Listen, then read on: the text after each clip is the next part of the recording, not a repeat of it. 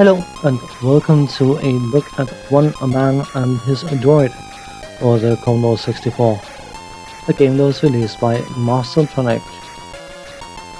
The plot thing of this game, or objective rather, is that you have flown to the planet Andromedus with your droid to capture Ramboids, a male form of alien sheep. They only have an active life form of 20 minutes so to teleport them back to Earth in a suitable form, you'll have to move fast. Your first task in the game is to try and enter the cabin so you can actually capture the ramboids. And uh, in front of such cabin there are hundreds if not thousands of rampaging ramboids trying to block your access to the cabin and they are moving left and right and down and um, if you get trapped by a wave moving down you can get pushed all the way down to the bottom of the screen. And if you are pushed uh, fully to the left or to the right there will be an energy kind of field thing that will force you as well to fall all the way down to the bottom of the screen. So you have to start the climb back up again. Basically a nightmare, a nightmare version of Frogger if you like once you have finally reached the uh, entrance to the cave, you will be given the objective, which is to uh, capture six ramboids, or seven. I think it's seven. I can count. It's seven. Yeah, indeed.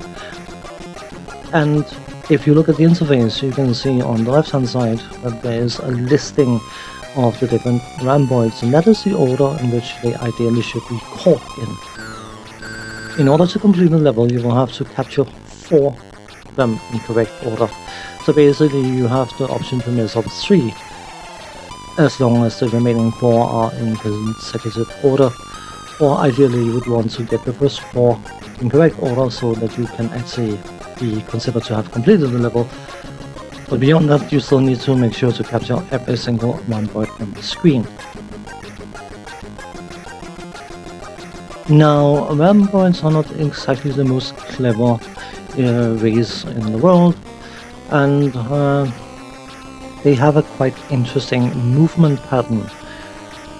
They like to go right and up if given the option, or uh, down and left if given the option, and you have to make sure to uh, position yourself in such a way that um, they find the correct version of up and right or down and left to be in the general direction of the teleporter. In order to do that, you will likely have to run around and uh, basically babysit or herd, to use a proper term, the sheep towards the teleporter. If you don't get them caught in the correct order, you will be forced to restart the level until you get it right, which I will showcase here, not my intent, but uh, that is exactly what happens in the first part of this. Carrying on with the interface, uh, top of the screen you have your score and then you have a timer. And that timer is more interesting than you might think. Well, maybe not interesting, but I will get back to that later on. The the right indicates uh, ramboids you have already caught. And then at the bottom of the screen you have your droid interface. The four options available are Fly, which will allow you to navigate the screen, Kick, which will allow you to kick your droid into the surface you're currently on in order to allow uh, droids to pass over you. And then of course you have the tunnel option where you can tunnel your way through walls in order to open up paths. Sometimes it's a good thing to do and sometimes it is an incredibly obnoxiously wrong thing to do because you can basically open up access allowing the ramboids to uh, run around in more or less endless loops until you find them and find out where the issue is and nudge them in the correct direction. From a graphical point of view, and bear in mind, of course, this is a game from 1985, and it is also a cheap range game, so your expectations will have to be somewhat tempered. I think the graphics work. You can easily identify different ramboids because not only have they got different colors, they also have different details attached to them. The droid itself, I suppose, I mean, I don't know what your expectations is of what a droid should look like, but I will happily accept that it's a droid. The backgrounds and all the kind of stuff, it's supposed to be a cabin, and it's cabin-like enough for me, so I will happily take it as it is. The sound effects are more mini jingles than anything else, and uh, I don't find them particularly enjoyable. I don't dislike them, but I don't like them either. But of course, that leads us on to the music.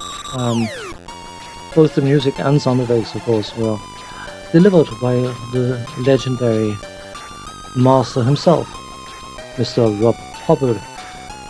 And while the tune may be a bit funky and hip for a game of this type, the tune itself is easily one of my top three favorite Rob Hubbard Commodore 64 tunes. It basically showcases in many ways just what the Commodore 64's SID chip was capable of, but that is another thing I will return to momentarily. The controls are fine. Left, right, up, down to move left, right, up, down when you are in fly mode. If you're not in fly mode, you can only move left and right, and if you go down a tunnel, you will fall down until you reach the bottom of it. Fire to switch between the different droid modes and hold down fire for the fourth effect, which is to let you know where the other or the remaining ramboids are, so you know where to go look for them and uh, try to notch them in whatever direction you need to notch them in.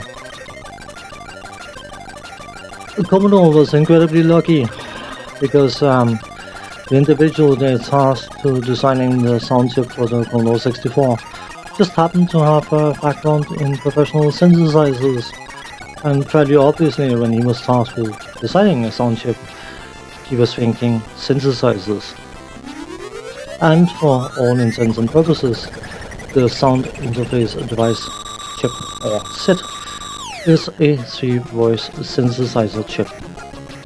And in that regard, when it comes to synth music, especially amongst the 8-bit systems, nothing comes remotely close to the capabilities of the Commodore 64 sound chip. And that is a blessing when it comes to this game.